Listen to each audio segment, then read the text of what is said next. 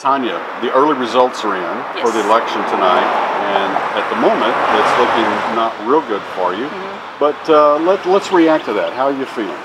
Oh, it's disappointing. Um, I know I've got out and worked hard. However, um, it's just you know, one of those things. Just gotta, gotta move on. We still have some coming in though. Hopefully, the numbers will grow a little bit and see what happens. How would things change in Habersham County with Tonya Elrod as a sheriff? How would things be different? It would be different. We would be totally more involved in the community and with our kids. Um, there's so much going on in our schools and stuff today that issues aren't really being addressed, and, and I think that it's so important to get in there because they're our future. We've got to get them on the right track, have some more things for them going out there, a lot of programs, and just getting the community involved. I think they need to know a lot more that, of what truly goes on at the sheriff's office. I want to ask you something really important. Yes. Your signs during this campaign have had the word integrity on them. yes. Tell us about that. Well, ever since I was little, my parents, they've always taught me to treat others like I want to be treated. And that's the way I've always been. I, I thought it, you know, I wouldn't want anybody to be mean, hateful to me. I want to treat them good. I want to sit down and listen to them and, show them how much they do matter to me and to others. And, and, that, and that's a big thing, is just treating others in the proper way. One of your big issues uh, that I heard you talk about during this campaign is to develop a better relationship between the sheriff's department and young people, high school students, middle school students. Why do you think that's important?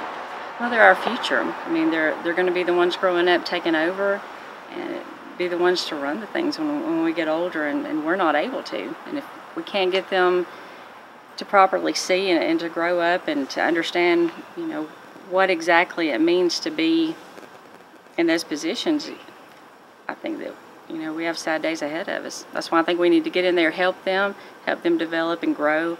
That way, it'll make our counties grow, our, our communities grow, and make and make things better here. I'm going to ask you a really tough question. Yes.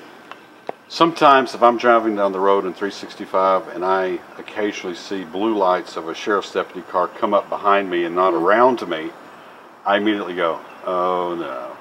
How should I feel when I see that if you were sheriff? Well, if I was sheriff, I think it would be more of, of thinking, well, I've done something, you know, maybe I shouldn't have done, but I'm not afraid for them to come up and talk to me and, and them be able to tell me what I've done wrong and, you know, work on it. It's something that you might not realize you're doing because even when I'm, now that I'm not in a patrol car, I, I do a lot of things, I don't realize it. And it would be nice for somebody to come up and say, you know, you might be having an off day or something. Let's talk about what happened instead of, you know, being scared of what could possibly happen, or, or maybe somebody having a possibly a bad attitude or something with us. They know that we'd come up with with a positive approach, kind of look at things a little bit differently.